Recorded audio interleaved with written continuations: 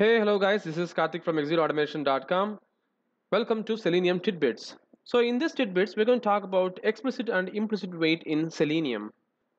So there are two types of waiting mechanism in Selenium. One is explicit wait and one is implicit wait. So what is explicit wait? Explicit wait will make your code to wait for certain condition to occur before moving forward. This can be achieved with a combination of WebDriver wait and expected conditions. So you need to use these two methods combination to perform the explicit wait operation. And WebDriver wait by default calls expected conditions method to poll by every 500 milliseconds until it returns successfully. So we'll talk about explicit wait in detail while we start working with code.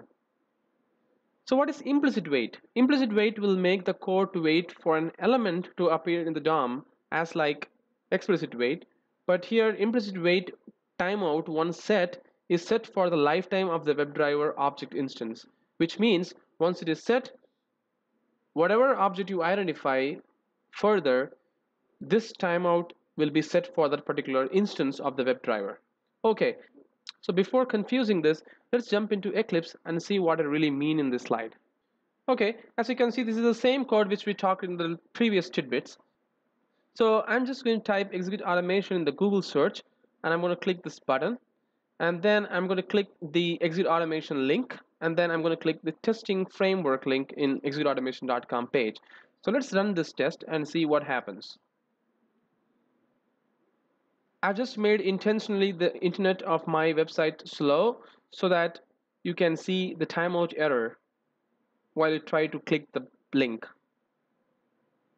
So as you can see here, I'm getting an exception here and it says unable to locate the partial link text execute automation automation testing automated. Right? And I know why the reason is because currently my internet is very slow so I need to give somehow some time to wait for my next operation to be performed. So I'm going to wait. So the most commonly used worst way of waiting the page is thread.sleep so it is completely not recommended while writing your code because it will make your thread to sleep for this particular time whatever you specify. The whole execution will stop for 5000 milliseconds even if the object is identified. Right so now let me run this test and see how things works. So as you can see the Firefox is open and it's open the Google and it's going to type execute automation for me right now.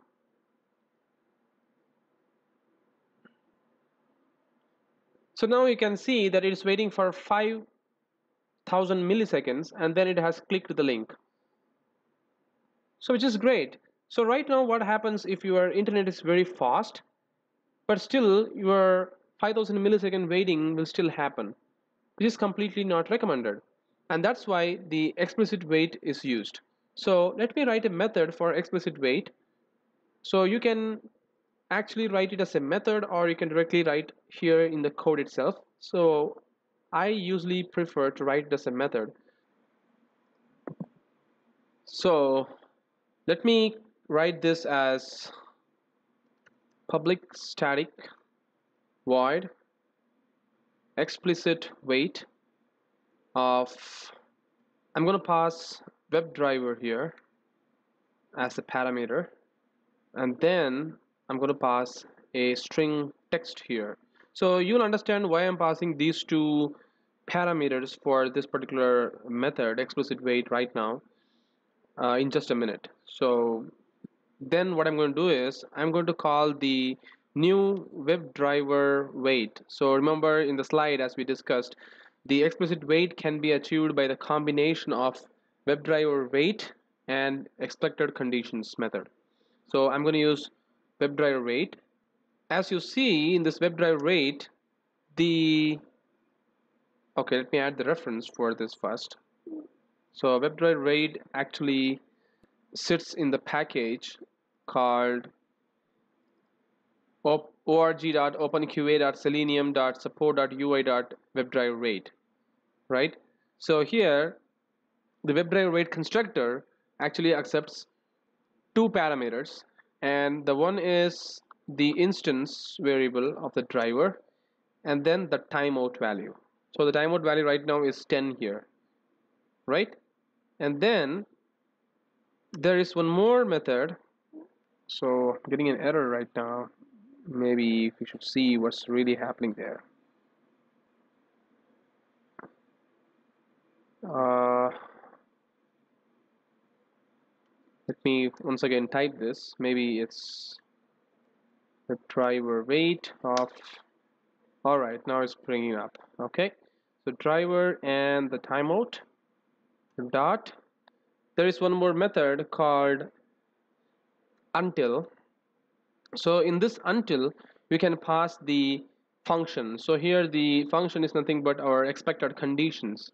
So here within this expected condition class you have a lot of functions.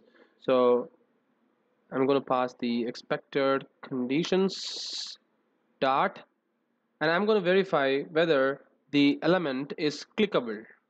So the element to be clickable is there or not right? And then I'm going to pass the by locator element. So by dot I'm going to say link text right? And here the link text is going to be the text. All right? That's it.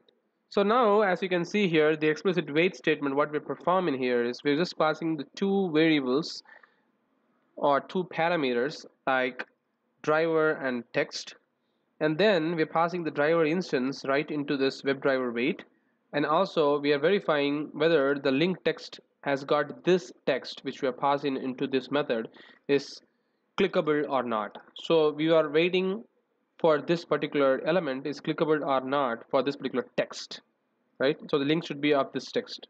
And it will wait till 10 seconds. So this is the timeout value. So still it doesn't appear even in after 10 seconds then this method will throw you a timeout exception as you can see here right? Great. So the next thing is we need to pass the value right here. Instead of thread.sleep I'm going to call this method right now. So explicit wait of the driver that's fine and the text. So the text is going to be this guy the execute automations of these these these things. So since we have used partial link text so I think we should use the partial link text here. That should be much better.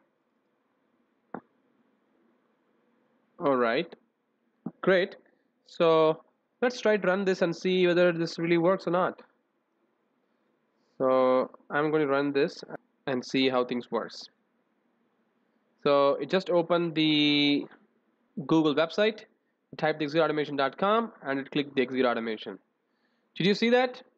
It waited for the page the link to appear and once the link appeared then it just clicked there and our site just popped up. And then it also clicked the test framework testing framework category which is great. So this is what is really expected. So this is the purpose of explicit wait statement so then what is the purpose of the implicit wait statement? So let's not waste our time and write a method directly and let's see how things works for that. So public static void and let's name this as implicit wait and then I'm going to pass the WebDriver driver driver here just WebDriver driver that's it. Since this is going to set the timeout for the WebDriver instance for its whole lifetime of the execution right? So the driver dot manage dot timeout dot implicit wait as you can see there is a method called implicit wait and it says how much time you gotta wait to throw the timeout exceptions. So I'm gonna say 10 seconds but I've, I have not set the seconds here. So there is one more enumerator available called time unit dot. You can pass the value here. So I'm saying in seconds right? Great. So I'm gonna save this guy.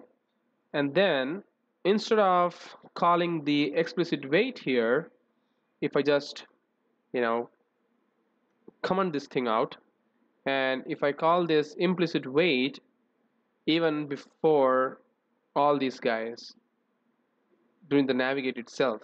So let's say I'm going to pass this as implicit wait of the driver. That's it. So this is the timeout now if I run this test let me close this window. It will run fine. Since it will set the whole driver instance to wait for an object to appear up to 10 seconds. So this is the this is going to be the timeout for the implicit wait so let me run this test and see how things works.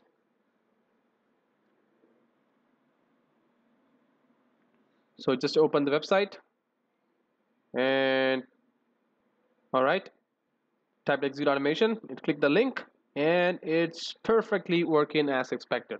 And that's the power of implicit wait alright guys. Thank you very much for watching this video and we'll discuss more tidbits in upcoming videos of this video series. Thank you very much. Have a great day